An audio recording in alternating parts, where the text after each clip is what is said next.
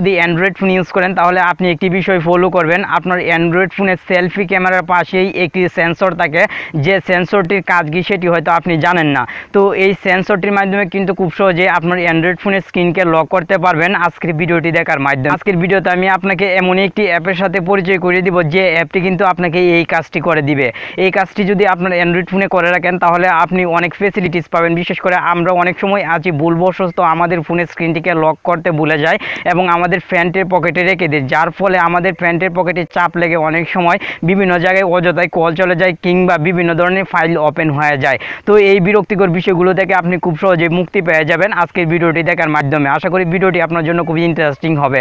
Hello friend আপনি দেখছেন tech on Bangla YouTube channel আর প্রতিবারের মতো আমি আছি আপনার সাথে নাসিম। আপনি যদি এখন পর্যন্ত টেকন বাংলা চ্যানেলটিকে সাবস্ক্রাইব করে না থাকেন, অবশ্যই সাবস্ক্রাইব করে দিয়ে পাশে থাকা বেল আইকনটি বাজিয়ে দিন, কারণ আপনার এই চ্যানেলে কিন্তু প্রতিনিয়ত এরকম ভিডিও আপলোড করা হবে।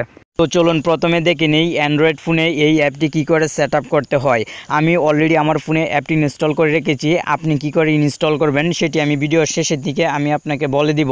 অ্যাপটি ওপেন করার পর আপনার সামনে এরকম অপশন চলে আসবে। এখান থেকে আপনি স্টার্টে ক্লিক করবেন।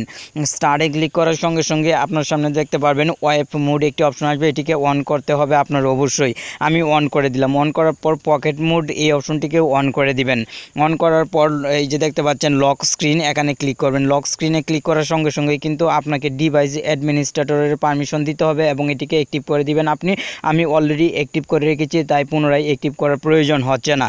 তো এই কাজগুলো কমপ্লিট হওয়ার পর আপনার মোটামুটি এখন কাজ কমপ্লিট হয়ে গেল। এখন যদি আপনি আপনার অ্যান্ড্রয়েড ফোনের সেন্সরের উপর হাত রাখেন, তাহলে কিন্তু আপনার অ্যান্ড্রয়েড ফোনটি স্ক্রিন অটোমেটিক লক হয়ে যাবে। বিশেষ করে আপনি যখন আপনার অ্যান্ড্রয়েড ফোনটি ভুলবশত প্যান্টের পকেটে রেখে দেন আনলক অবস্থায়, সেই সময় কিন্তু অটোমেটিক লক হয়ে যাবে, যেটি আপনার জন্য অনেকটাই ইউজফুল এবং অনেকটাই কার্যকরী হবে। আর এটি যদি আপনি বন্ধ করতে চান, তাহলে স্টপে ক্লিক করে দিবেন। সেই সময় কিন্তু সঙ্গে সঙ্গে বন্ধ হয়ে যাবে এই অ্যাপটির কার্যকরী ক্ষমতা। আর অ্যাপটি ইনস্টল করার জন্য আপনি ভিডিওর ডিসক্রিপশন বক্সে চেক করুন। অ্যাপটি ইনস্টল করার লিঙ্ক পাবেন ভিডিওর ডিসক্রিপশন বক্স আজকের পর থেকে আপনি এই অ্যাপটি আপনার ফোনে ইনস্টল করে রাখবেন আর আপনার ফোনের সব কিছুকে সবসময় সিকিউরিটির ভিতরে রাখবেন।